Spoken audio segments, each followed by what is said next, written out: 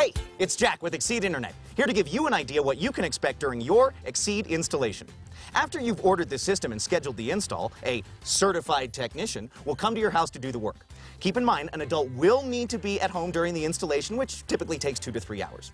First, the technician will ask you where you would like the equipment installed. Then, he'll locate the best possible place to install your antenna, or dish, outside. The antenna typically goes on the side of the home, on the roof, or on a securely installed pole. For this installation, the best location is on the side of the house. A clear view of the southern sky is necessary since our satellite is located over the equator. That away. Once you've agreed on a location, the Exede Tech gets to work.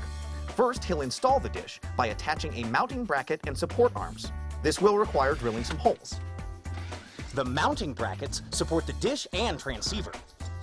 Next, the technician runs the coax cable through the antenna assembly, then through the wall into the house. Got it! After plugging in the modem, it's time to go back outside and point the dish. This is the important part. The technician uses precise measurements to align your satellite antenna with the Exede satellite, all the way up in space. Cool. Once the dish is properly pointed, the technician will ensure all cables are secure and neatly fastened to the house. And he'll seal up that little old hole to the spot you've chosen inside for the Exede Internet modem. Then he'll connect your Exede Internet signal to your computer, initialize your service, and have you sign the electronic customer agreement.